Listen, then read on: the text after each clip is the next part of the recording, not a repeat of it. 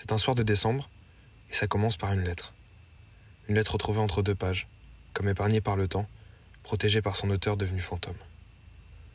Et cette fois, l'auteur est aussi destinataire. À ouvrir quand je serai adulte. Mais qu'est-ce qu'un enfant peut dire? Et suis-je adulte pour répondre?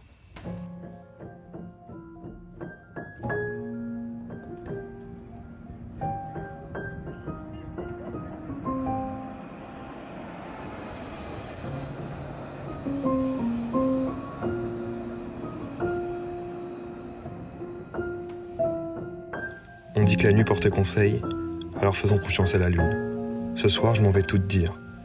À l'heure où la ville dort, où les gens ne s'en vont plus, je suis là, seul, égaré, et j'attends ta réponse. Alors quoi de mieux que les balades en tram pour se poser des questions Des tas de questions, et pour commencer celle-ci. Qu'avais-tu? Jeune Arthur a envie au monde des adultes. J'en ai aucun souvenir. Et c'est justement ça qui m'angoisse. Une violente lâcheté, une peur de découvrir non pas des mots, mais le documentaire sur la société qui trompe l'enfance, qui la manipule, qui rend utopique le monde des grands, le monde des adultes. On peut pas faire tout ce qu'on veut et que on est petit. On a des contraintes. Pour moi, du coup, c'est mieux, oui, c'est mieux d'être un adulte. J'ai l'impression d'être moins libre. Là. De pas faire tout ce qu'on veut non plus. ouais, il me tarde d'être adulte.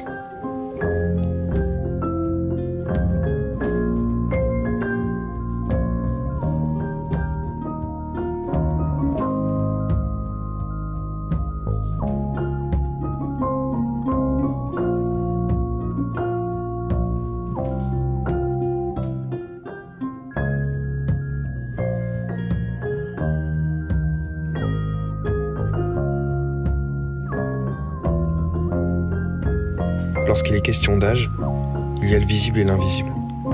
Si tu te focalises sur le visible, alors là oui, je suis adulte. Pourtant, je continue de pisser depuis la fenêtre, comme si j'avais peur. Peur d'enfiler le costume de grand, peur de ne plus pouvoir rêver. Rêver d'une bête de vie.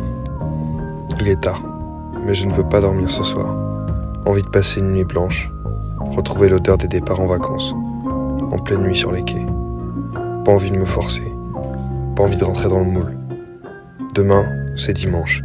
Après-demain, c'est dimanche. Tous les jours, c'est dimanche. Allez, on reprend les vieilles habitudes. Que me reste-t-il de l'enfance?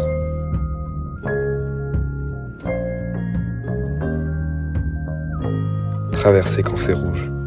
Et ne pas prendre le trottoir d'en face quand on me le demande.